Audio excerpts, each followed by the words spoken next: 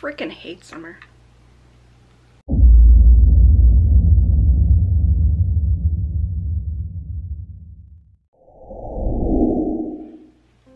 Hey friends, welcome back to the channel. I hope you guys are all doing really, really well.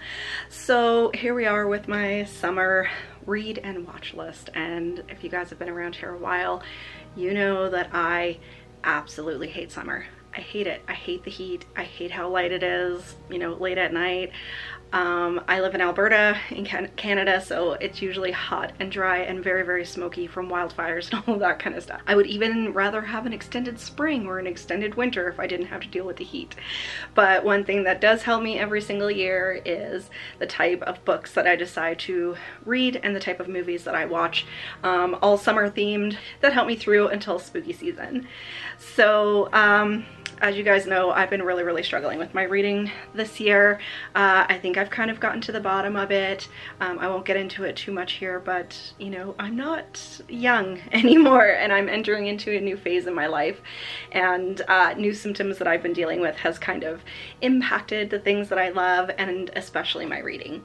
So I've put together a pile of possibilities. This is not a TBR. I'm not planning on reading all of these books and you know me, I'm probably to end up picking up a couple of other things that are not on this list, but I wanted to put together, um, you know, a varied list of adult, middle grade, YA that are really going to pique my interest that all have summer themes. And uh, I've included movies on this list as well, which I don't think I've ever done a, a summer movie list before, but Matthew and I have been having so much fun putting this together. We're both really, really in the mood for slashers lately. So I hope you guys stick around and enjoy this list.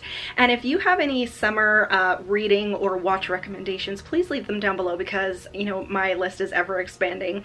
And of course, I'm going to be reading and watching other things as well. So give me some suggestions down below. So of course, because it's me, I had to put some ghosty books on this list. You guys know I have an undying love for nonfiction ghost stories. And uh, both of these are campfire themed. So this one is out of the Ghost House series uh, number 16, which is one of my favorite series to collect. This is Campfire Ghost Stories. I have read this one before and it's all very familiar stories. So it's all very much based on urban legends and that sort of thing. And um, you know, it's stories that I just really, really love and they're very comforting.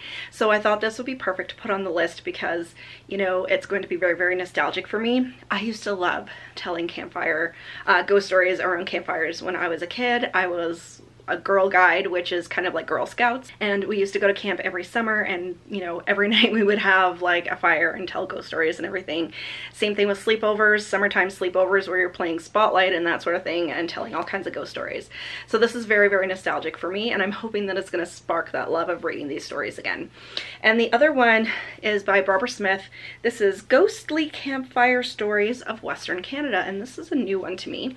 I found this one not long ago actually at the thrift store and I featured it in a recent video when I did my bookshelf tour of my ghosty shelf so if you haven't checked that out make sure you go check that out because it's one of my favorite videos. I love talking about ghost stories and um, so very very small and so I figured I would put both of these on my list so I would have some nonfiction wrapped in with my summer slashers. So really, really excited to get to both of these. It's actually not too, too warm today. Um, we're supposed to be in for some rain this weekend, but you know, over the past few days, it's been like 25 degrees, which is, for me as a Canadian, I do find it really hot and um, our air conditioning has been kicking in. So I've been enjoying these triple shot lattes. Matthew makes them for me. Um, I put in three shots of espresso and uh, my oat milk and they're amazing. And so this is something that also helps get me through the summer months is my triple shot latte. So next up, um, I've kind of done these in categories. So the first category was ghost stories, and um, I might actually add a couple of more to that one. I'm not really too sure. Um, I do have lots of Mary Downing-Hahn and books, books like that that would go really, really well into that category also. And then the second category is summer camp. Um, like I said, I used to go to summer camp as a kid and I absolutely loved it. I love anything to do with summer camps and watching movies that has to do with it and, you know, just the bonds of friendship and all the kind of shenanigans and everything people get into. So these are all kind of in the middle grade sphere. So we have one out of the Camp Sunnyside Friends series. This looks super, super cute. So this, you know, I read YA, middle grade, kids books, adults, all the things. So I wanted to put some middle grade on there as well. So this is uh, Cabin 6 Plays Cupid. And this is a series by Marilyn Kaye. I only have a couple out of this series. Um, so it's very much like a spinoff of Babysitter's Club sort of thing. And it says, the girls in cabin six couldn't believe it. Their counselor, Carolyn, had returned her boyfriend's fraternity pin. She said that she wasn't upset about the breakup, but Megan had read enough teen romances to know that Carolyn's brave smile was covering a broken heart. So the Camp Sunnyside friends decide to come up with a plan to get Carolyn and Teddy back together again. Sounds so good. I love these like cheesy little stories. They just bring me so much joy and you know I do deal with a lot of anxiety and stuff during the regular workday and everything so these really really help me unwind. Um, I do have one out of the Ghost Twins series. I actually found this one the other day at the thrift store. So, so excited. So I have three out of the Ghost Twins series now. So this is the Haunted Campground Mystery. And it says, Robbie and Becca are twins. They have a St. Bernard. 50 years ago, they became ghosts. Now their house is a vacation rental. What do these ghosts do with their time? Haunt un unsuspecting guests, and they actually um, do go on a camping adventure. It says the twins and Thatch decide to join the girls and their leader on their adventures. But that's when strange things start to happen. Is Lake Park Campground haunted? So that's super cute too. And then I picked two out of Goosebumps. Um, I love picking up a Goosebumps in the summertime. Uh, Camp Jelly Jam is my favorite Goosebumps book, if you're wondering. So we have The Curse of Camp Cold Lake, and this is number 56. And then we have Ghost Camp, which this is one of my favorite um, Goosebumps covers, actually. I love it. So, so cute. And this one is number 45. And it says, be all that you can't see. So that's a play. I'll play on be all you can be, I guess, from like Boy Scouts and stuff. So a couple of goosebumps to throw in the pile as well. And then the next category is like lake and beach sort of adventures. So I guess a couple of the ones that I just talked about can also fit into this category as well. Um, but these are super, super cute. So I do have an Apple paperback. This one is super, super vintage. Just look at her outfit. And of course it has the classic Apple paperback um, header on there. And I believe this is right back from 1980. This one is 1984 actually. And um, so this is Baby Snatcher by Susan Terris. And it says, Laurel arrives at Hoop Lake expecting her summer to be boring as usual. She's surprised when she finds new people at the lake, a young sculptor named Ivan and his baby, baby daughter Doe. Laurel is happy to babysit for Doe and to do other chores around the house. Ivan seems to really need her. He's good looking, gentle, and treats her like an adult. Laurel can't stop herself from wishing the summer would last forever. So, I mean, just by the title, I guess she suspects maybe that this little child has been kidnapped. So that sounds like a fun adventure. And then I did want to pick at least one out of either Fear Street or Point Horror, so I went with this one, Beach uh, Beach Party, sorry, I was gonna say Beach House. Some come to party, some come to die. So of course we start out with a normal, you know, beach party with the boys and girls and the romances and crushes and all of that, and it says on the back, but the party summer takes a nasty turn when Karen realizes that someone is out to spoil all the fun. As the beach party gets wilder and wilder, Karen realizes that someone very close to her is too close, close enough to kill. Will the next beach party be her last? So of course this is going to be all the cheesy fun of R.L. Stine and I'm so so excited to get to this one as well. And then within the same category but kind of on its own a little bit I did pick out two of the Babysitters Club super specials um, like the summer editions. So we've got Babysitter's Island Adventure, this is number four, and Babysitter's Summer Vacation, super special number two. I'm not sure which one I'm gonna go with, but I'm leaning towards this one because it does have like that summer camp theme. So of course, uh, the girls are at Camp Mohawk, and I believe they're like junior counselors, oh, counselors in training, and they get into all kinds of shenanigans. And of course there's romance, and there's a boys camp, and, and all of the things. So I think it's gonna be this one. I put this one in the pile as well. I'll let you guys know which one I get to And I think right now I don't have um, really any streaming services. I have Amazon Prime, that's about it. But um, the episode that they did of the Babysitters Club on Netflix was really, really good. And I might get Netflix just for a month so I can rewatch the Babysitters Club show because I am going to be doing a little bit of a themed vlog as well. One of the movies fits in there also. So yeah, of course I had to put a Babysitters Club in there because it's just so nostalgic and I love how like different chapters kind of you know, are from different points of view of each one of the girls and it has their names up on the corner. That is very, very nostalgic to me. My parents had a cabin when I was young. I had to spend a lot of time there in the summers and I hated it. And uh, so I read a lot of Babysitter's Club um, during my time there. And of course, now I wish I could have that place back um, as an adult, but of course I can't. So at least I can dive into the Babysitter's Club books for a little bit of nostalgia. And then the next category that I put together was uh, like coming of age stories. And this one is one that I picked up a couple of years ago and I, I still haven't gotten to it. And this is one of my favorite covers that I have in my collection actually. So this is Summer of Night by Dan Simmons. And so we're seeing these um, boys on their bikes out through a window and it has a wonderful die cut cover and it says school's out now it's time to learn fear and of course you have the wonderful um, art on the inside with the die cut there and uh, so I'm finally putting this one into my pile for this year. The only thing that's going to be really difficult for me is the text is a little bit tiny, so I might see if I can find this one on digital copy or get it at the library like in a different edition. But even if I can't, it's not too, too bad. But of course, this, you know, revolves around boys um, in the summertime, and it actually takes place in 1960, and I love anything to do with the 60s.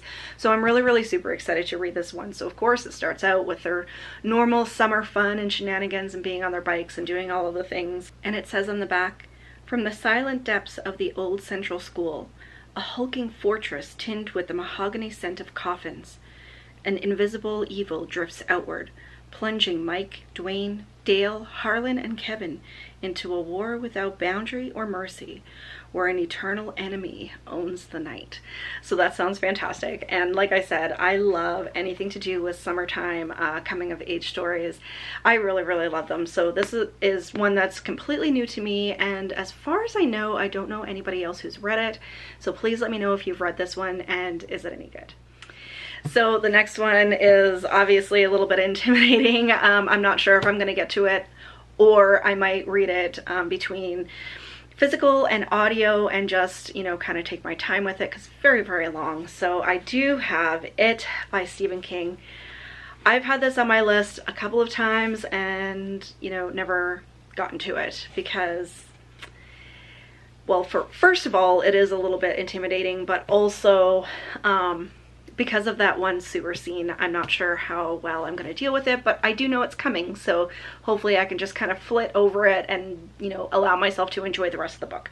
I've never read it before, obviously, but I have seen the original um, miniseries. I do own it, actually, and of course I saw the remake that came out a couple of years ago. What was that? 2019, 2020 sort of thing. I haven't seen the second uh, recent one, but I did watch the first one. I found it to be very, very long and I didn't enjoy it all that much, but I'm hoping that with actually reading it first, I can go back to uh, the one with Tim Curry and the newer one and uh, hopefully I can enjoy it a little bit more. So putting this one on the list, we'll see how it goes. Um, like I said, I might just take my time with it and read it between physical and audio. Maybe that'll help me with, you know, this chunk chunk um, getting through it all. And then the last category is just kind of random summary sort of books. Um, one of them actually has nothing to do with uh, summer specifically, but I wanted to stick it on here because it's out of one of my favorite series. I just found another one at the thrift store and I'm really, really excited to read it.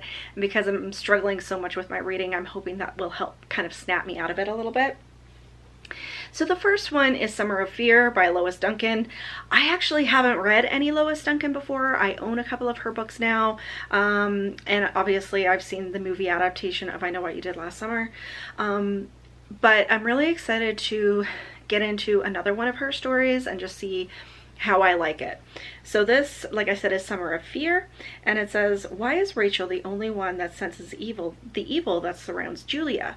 So Rachel's cousin Julia comes to spend time with her and she's like really weary but Julia is making friends with everyone everyone loves her but Rachel is is you know a little bit weirded out and she thinks something is a bit off so this really reminds me of One Evil Summer which I read a couple of years ago by R.L. Stine um, so we'll see how the two compare um, the synopsis is almost exactly the same so I'm assuming this one came first because I know Lois Duncan was writing before R.L. Stine but don't take my word for it I'll have to check it out um, but yeah the two seem very, very very similar. So we'll give this one a go and see how much I like it. And then I did put this one, I had it on my TBR a couple of years ago, my summer TBR, and uh, never ever got to it. I love the cover on this book. It's another one of my favorite covers in my collection, just with the, the pink and, and the purple. Purple is my favorite color, and he just looks like such a cool dude.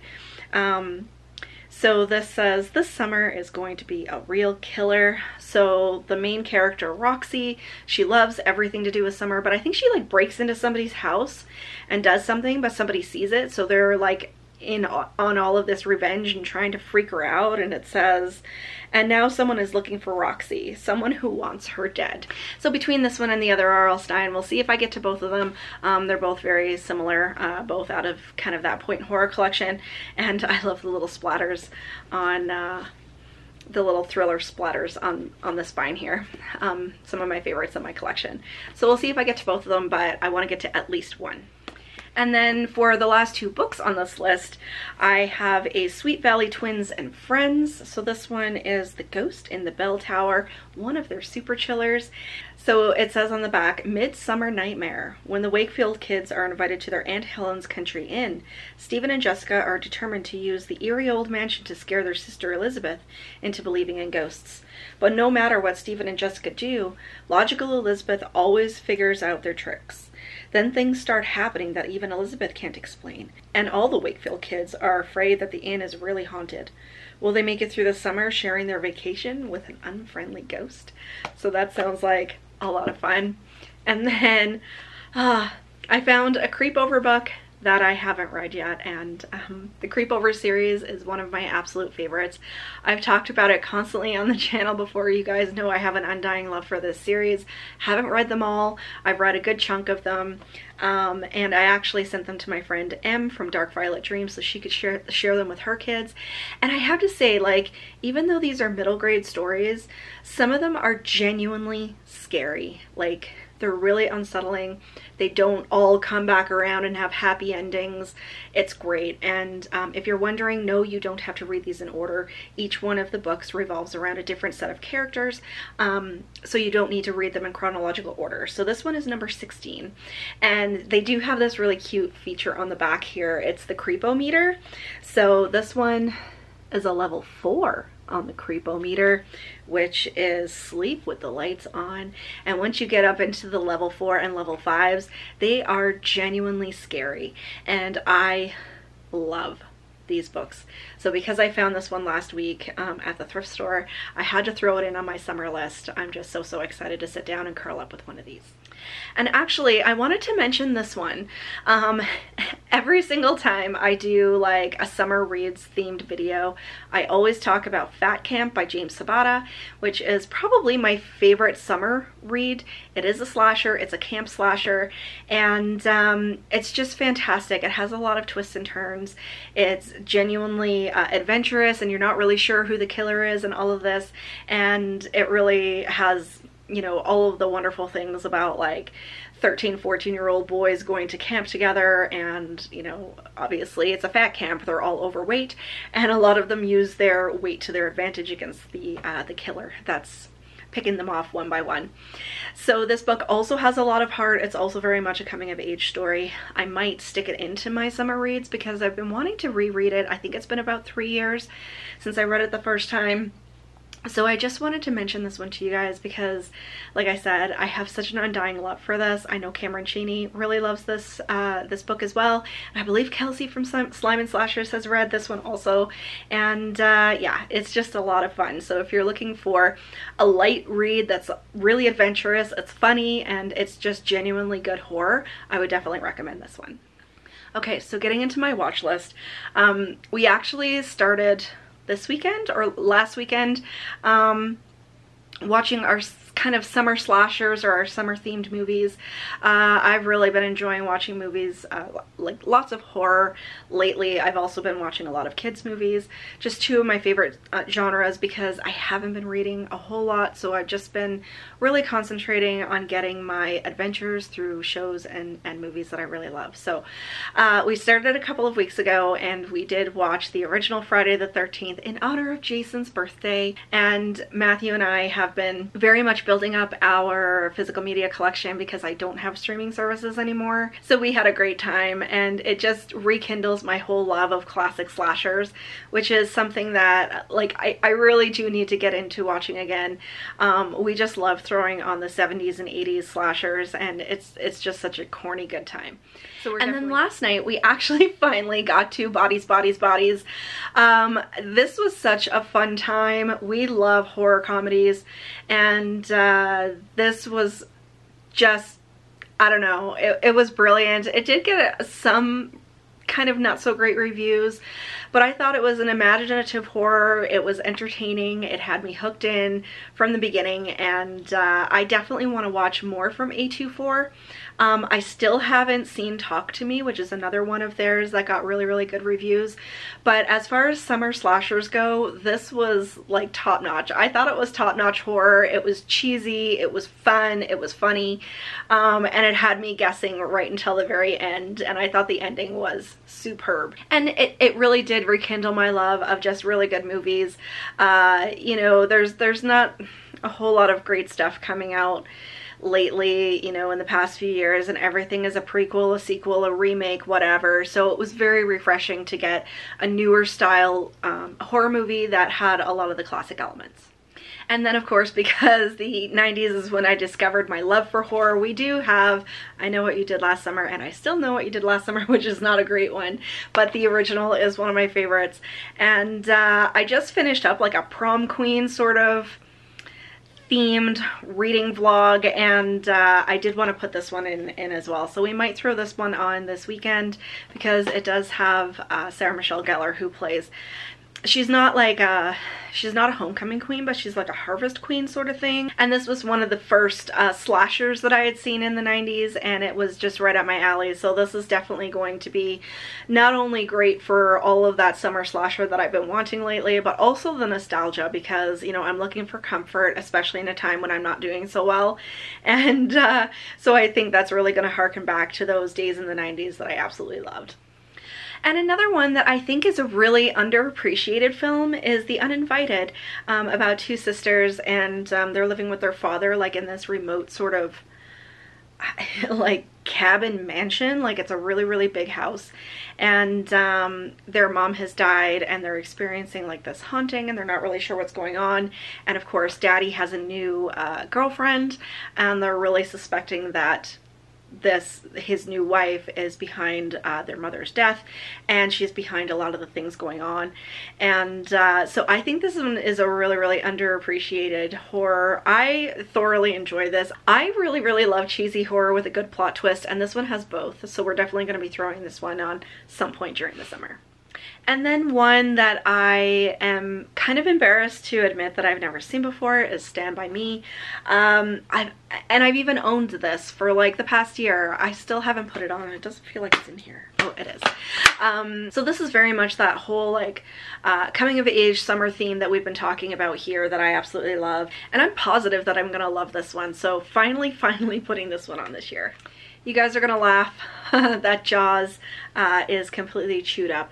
Um, I haven't seen this one for years and um, our puppy Dozer, when we first got him, he was a rescue and he got into my movie collection and he chewed the crap out of this one and Home Alone. And uh, so it has Dozer puppy bites, little nib nibs from when he was teething and uh, he was a little bit anxious when we first got him as well. So I think it's hilarious that uh, the case is completely chewed up and it's Jaws and I think it just you know just adds to the whole thing but another one that we haven't seen in years and years and I can't wait to put this one on another one that I own um, and this one is outside of the horror sphere, but still very much in that uh, same sort of theme that I'm looking for is the Babysitter's Club movie.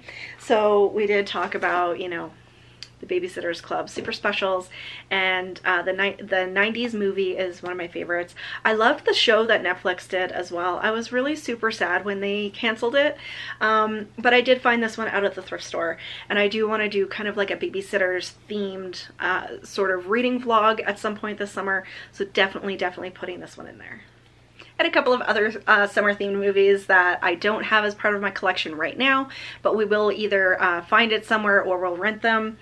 First up is the Addams Family Values, and this one is definitely one of my favorites. I remember seeing it in the theater way, way back in the day, and uh, I also remember the giant cardboard cutout that was in my um, local video store, and this one is just such a favorite, and of course it has all of the feels that I'm looking for.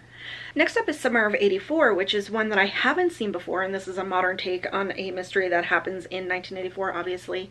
And a group of uh, boys decide that they, think that a local cop is a serial killer, and they're um, trying to gather gather evidence against him, basically. It sounds super good to me. I'm not sure of anybody else who has seen it or your thoughts. If you have seen this one, though, let me know down below.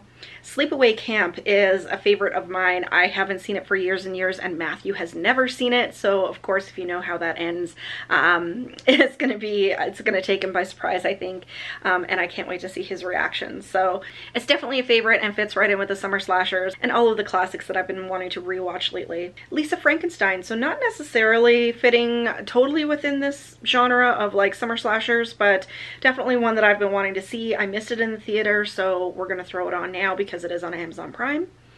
Now and Then is one of my favorite movies of all time. It's one of my favorite soundtracks of all time, and it revolves around a group of friends, uh, I believe in the 70s. I believe it's the early 70s, and it has a huge cast and a lot of big names and I have an undying love for this movie and it's just you know this group of friends who it's their last summer that they're super close as they're getting older and then they reconnect in their adult years. I love it so so much. Three Ninjas. Uh, I have an undying love for 90s martial arts movies, and this one is definitely one of my favorites about these three boys who go to spend time with their grandfather during their summer vacation, and they learn all the uh, the secrets to being ninjas and uh, all of the comedy and shenanigans that comes along with it.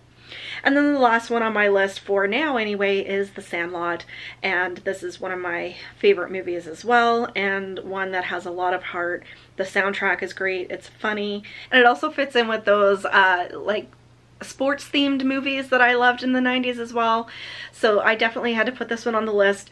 I can't remember the last time I watched it. I don't think it was that long ago. Matt's probably going to get mad at me for putting it on again, but it's just, it's so good. Even if we put it on in the background, it gives me all of those warm feels and, um, you know, it just never gets old to me. And then actually my brain is still turning as I'm doing this video. So three more that I have to watch. One of them is Poltergeist.